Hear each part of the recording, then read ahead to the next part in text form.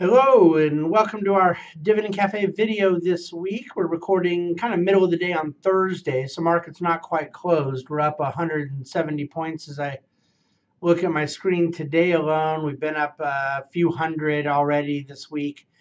And maybe you're thinking, that's kind of odd. Why would the market be up uh, again quite substantially into, you know, you're talking about now over six, six and a half percent year to date and we open up this week with the entire United States government shut down.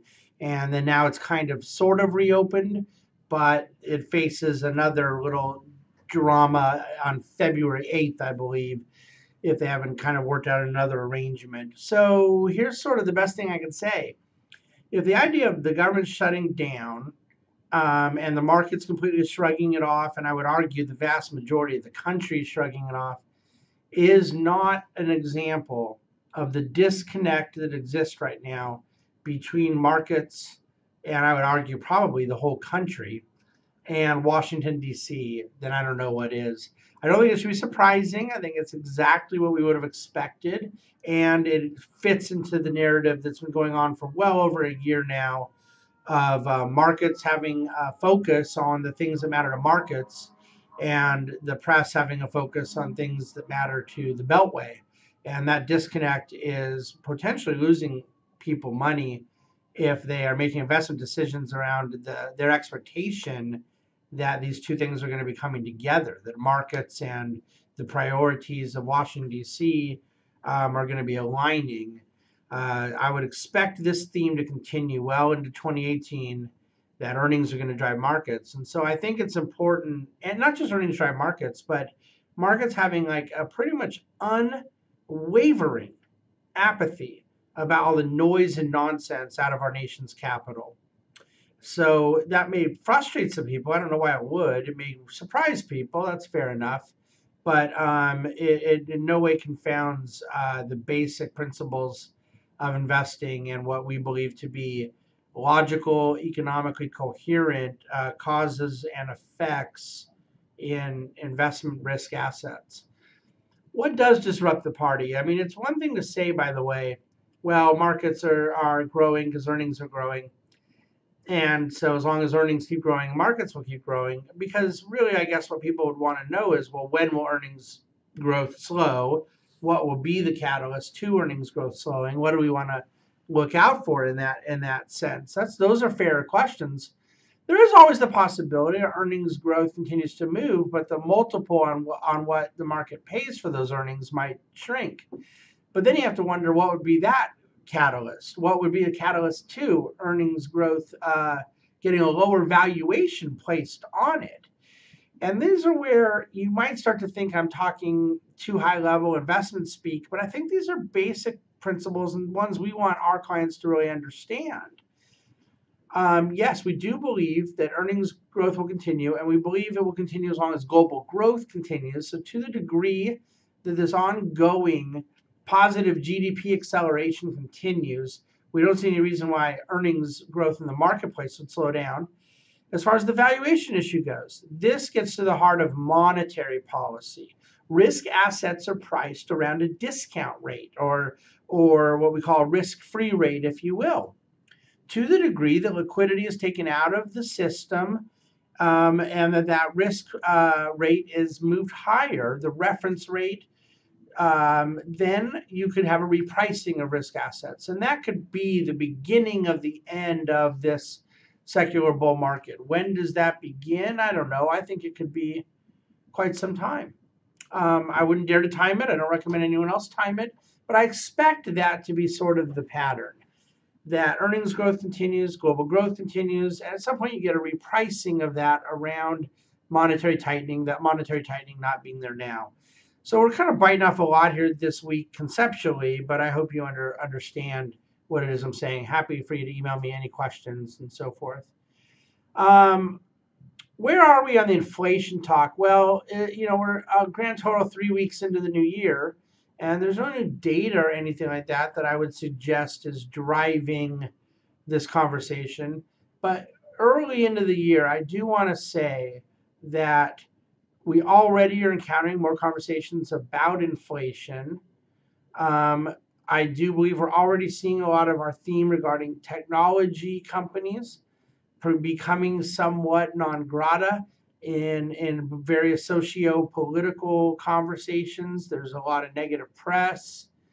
Um, I think that from a small cap standpoint, I'll look at my screen here as we're talking. Um, has that theme started to play out? Small caps over 6% as well, big caps up about 6%. So you don't necessarily, they're performing together, not necessarily one over the other. But yeah, I, I believe that we made some positioning decisions for the year that we think are three months, six months, maybe 12 month outlooks. And, and some of them are already kind of playing in quickly. So it'll be interesting to see if revision becomes necessary sooner than later. But all that to say, when you get back to the uh, inflation talk, which is another theme of ours, um, look, it's a game changer. Should there begin to be actual inflation that requires central bank responsiveness, that accelerates the repricing of risk assets. The question is whether or not uh, you're going to get the healthy kind of growth that moves interest rates higher, or you're going to get inflationary growth that requires a monetary response. Uh, productive growth is the most bullish thing for markets. Inflationary growth or deflationary non growth are the worst things. Those are two different, think of it like a hurricane and an earthquake. They're both really bad, they're just different. These are generally the two negatives to markets. And you want to have some degree of defensiveness in your portfolio around any type of scenario. Uh, fundamentally, as advocates of a free enterprise economy, we believe that self interest and companies allocating capital efficiently works and that you derive a risk premium out of investing in that process. And the better companies and managers and things you're working with, the better the result will be. But we believe in the process of private enterprise and the monetization of private enterprise as an equity investor.